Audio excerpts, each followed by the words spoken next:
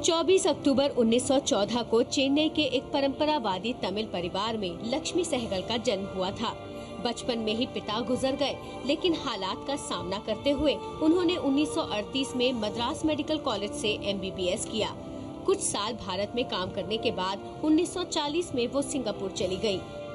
Captain Lakshmi बचपन से ही राष्ट्रवादी आंदोलन से प्रभावित थी। जब गांधी जी ने विदेशी सामानों के बहिष्कार का आंदोलन छेड़ा तो उन्होंने उसमें सक्रियता के साथ हिस्सा लिया।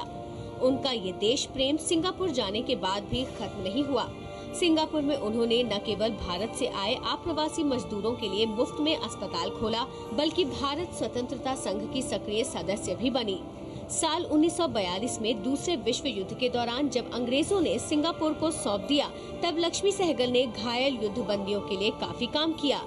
2 जुलाई 1943 को सिंगापुर में नेताजी सुभाष चंद्र बोस की ऐतिहासिक यात्रा हुई।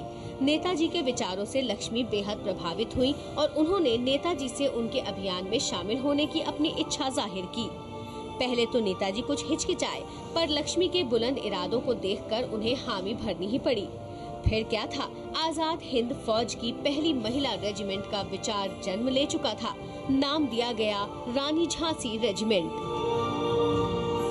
22 अक्टूबर 1943 को डॉक्टर लक्ष्मी ने रानी झांसी रेजिमेंट में बतौर कैप्टन का पद संभाला।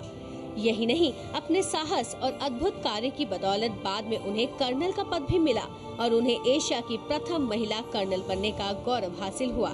लेकिन ज़ुबान पर चढ़ जाने के कारण लोगों ने उन्हें कैप्टन लक्ष्मी के रूप में ही हमेशा याद रखा।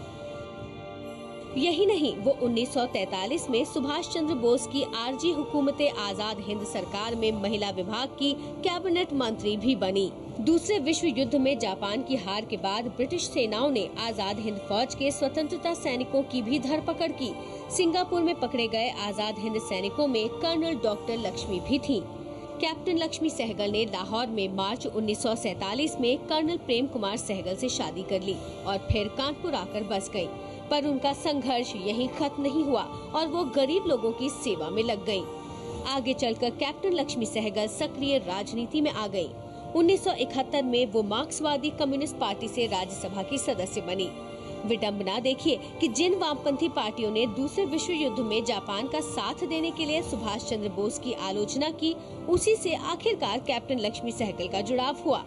लक्ष्मी सहगल अखिल भारतीय जनवादी महिला समिति की संस्थापक सदस्यों में रही। उन्नीस सौ अठानवे में उन्हें पद्म विभूषण से सम्मानित किया गया। साल 2002 में 88 साल की उम्र में उन्होंने वामपंथी दलों की ओर से डॉक्टर एपीजे अब्दुल कलाम के खिलाफ राष्ट्रपति पद का चुनाव भी लड़ा था।